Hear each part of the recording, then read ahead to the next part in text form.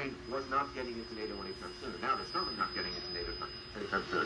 The question of the principle on which the United States stood, which is essentially we decide, who, or the NATO stood, we, not Russia, decide, was, a, was an odd principle on which to hang the future of NATO. Because that principle, instead of, you're right, the deal could have been cut, which is, let's be honest here, not getting into NATO anytime soon, and if we come out and say that, we can avoid a Russian invasion. The only reason, the only rational reason for not doing that is that there's something more to what is going on here than simply NATO. If we see this crisis through the lens of Ukraine's NATO aspirations, we miss some important